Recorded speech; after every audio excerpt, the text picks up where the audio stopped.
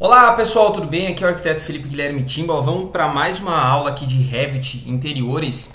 E o assunto de hoje são sobre materiais. Eu quero explicar algumas coisinhas aqui para vocês que ficam interessantes na hora que você está trabalhando aí com a paginação de materiais de interiores, tá? Vou dar umas dicas aqui e aí vocês uh, fica a seu critério uh, como que você aplica, enfim.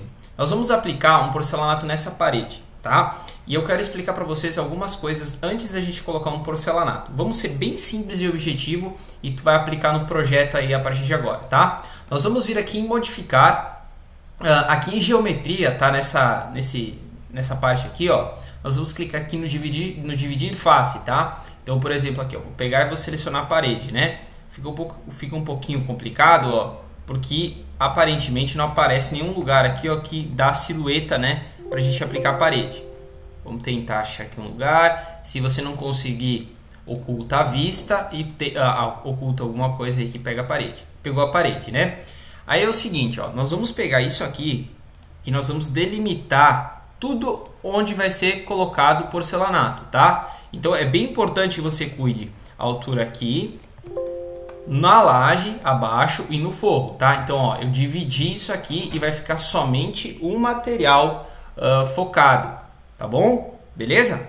Ok, essa é a primeira coisa, né? Você até pode voltar lá e marca, deixar a laje aqui no exibir elementos, tá bom? O que, que eu vou fazer agora? Eu vou pegar, tá? Eu posso vir aqui, vou, deixa eu pausar aqui. Eu posso vir aqui, ó, e pegar qualquer porcelanato, né? Porcelanato Eliane e tal. E aí eu posso aplicar o material. Vamos pegar aqui qualquer coisa que tiver aqui. Mas vamos especificar uh, alguma coisa, né? Vamos especificar alguma coisa certinho.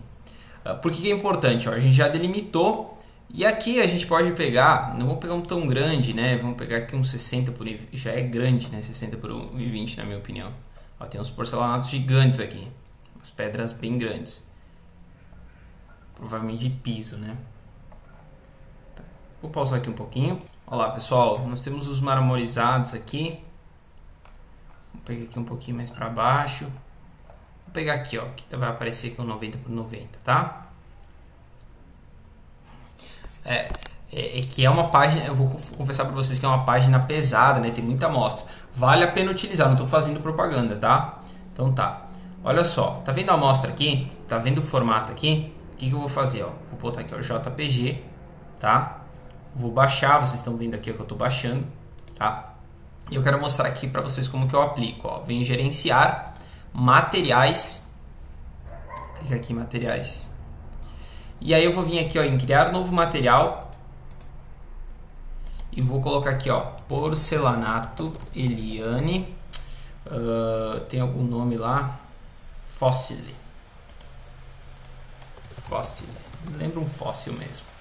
Então eu vou utilizar a aparência de renderização. Eu marco aqui nos gráficos isso para as três. Uh, vou pegar aqui, marcar um modelo aqui. O outro aqui é 90 por 90.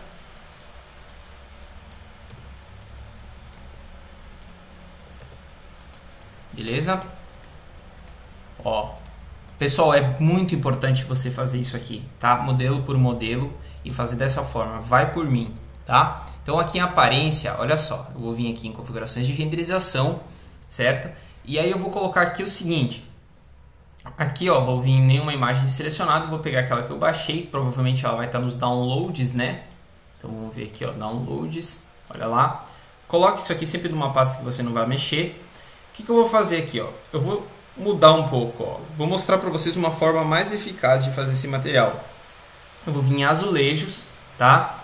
Uh, nós vamos deixar aqui um por um, tá? Vai por mim. Sempre deixa um por um aqui. Vem aqui, ó, em cor do, na aparência do azulejo, em vez de cor, ó, você pega imagem, tá? Vou aplicar. Vai abrir a aba dos materiais, já aplica 90 por 90, tá? Então, ó, material já tá ok. Sem variação de esmaecimento, tá? Sem variação nenhuma de esmaecimento. Aqui no reboco é o reboco que vai ser utilizado. Eu vou botar um cinzinha bem claro, um cordinha, tá? Nome de corda. Eu vou botar aqui, ó, uns, uns um milímetro de junta, tá bom? Para ficar bem leve, certo? E aí é importante aqui também ter ponto 90 aqui no dimensionamento, tá? Por causa que a lajota é uma coisa, a, a, a lajota cerâmica é uma coisa e aí a, a, dimensão aqui é outra, tá? Então tem que estar as duas alinhadas iguais. Vamos ver? Então aqui, ó, vou concluir e vou aplicar. Aí eu vou vir aqui lá e modificar, ó, do ladinho de, face, ó, nós temos o comando de pintura. Então é só pesquisar aqui o Fossil, ó, eu vou aplicar aqui, tá? Qual que é o cuidado que vocês têm que ter aqui, ó? Tá vendo que já deu a divisão das pedras? Ó, vou mostrar para vocês aqui, ó, que tá certinho, ó. Viu como funcionou o material? Só que quando você tá fazendo, quando você tá em execução, né? Quando você tá desenvolvendo um projeto, que, que eu vou fazer agora, tá?